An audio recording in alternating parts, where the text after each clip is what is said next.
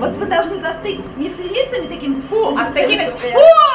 И вот прям вот это застыть. Мы понимаем. Последние штрихи за несколько минут до начала долгожданной премьеры. Пока спектакля «Вознесенский поиск РУ» в Анапе из-за пандемии пришлось откладывать больше, чем на год. За это время театральная студия «Многоточие» успела получить за него сразу три диплома Международного фестиваля молодых театров в Сочи и внести в постановку множество корректив. Это действительно очень капризный спектакль, который имеет свое настроение.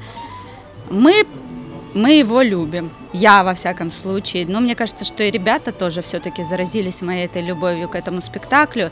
И э, мы настолько хотим его показать, что мне кажется, ну должно получиться. Ну должно. Создательница спектакля считает его абсолютно некоммерческим. Он построен на поэзии Андрея Вознесенского и документальных текстах. Работа получилась серьезной и довольно сложной. Вознесенский сам по себе достаточно сложный поэт, и поэтому суметь э, воплотить его и найти те произведения, которые бы, ну, скажем так, затрагивали э, души разных э, людей, разных поколений, разных вкусов, это дорого стоит. Впечатление очень-очень сильное, мощное. Есть над чем задуматься, о чем подумать.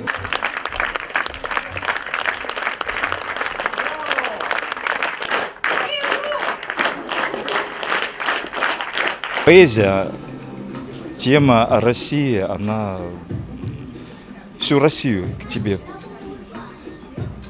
прислоняет и наполняет. Поэтому, когда говоришь о таком большом и прекрасном, силы приходят вновь и вновь. Хочется его еще играть и играть, играть лучше. И очень хорошо, что зрителю спектакль понравился. Это самое большое счастье для всего коллектива. Судя по реакции на постановку «Вознесенский поиск РУ», анапские зрители будут просить актеров показать спектакль не один раз. А 1 мая студия «Многоточие» представит еще одну премьеру. На этот раз публике обещают легкую, веселую и яркую сказку для детей и взрослых. Никита Бойко, Алексей Дивейкин, Михаил Григорьев, Анапа регион.